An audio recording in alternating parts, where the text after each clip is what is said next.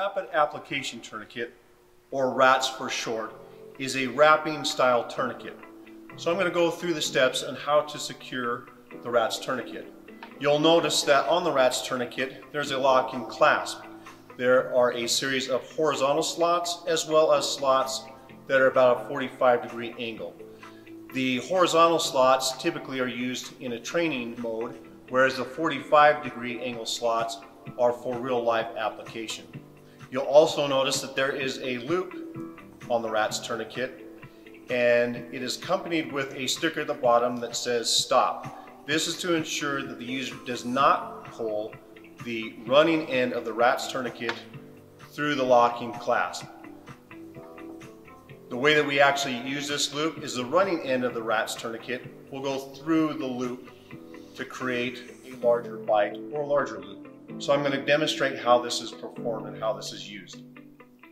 If I was to place this on my arm, I would put the running end through the loop, put my extremity through the large opening, and simply work to take the slack out. At this point, I need to start to wrap the tourniquet. However, if I start to wrap the wrong way, you can notice that the RATS tourniquet just starts to slide. This should be a strong reminder that I need to go back, pull tension back on itself, back onto the tourniquet, and begin my wrap. As I start to wrap, I'm pulling the RATS tourniquet tight, and I'm trying to get the cord touching itself and roughly making a two inch wide wrap. At the time that I get to the end of the running end of the tourniquet, I'm going to put that into the locking clasp as you can see.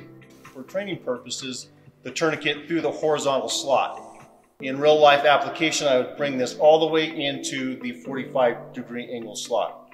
At this point, again, I would want to visually inspect to see that the and ensure that the bleeding has stopped, as well as checking for that radial pulse.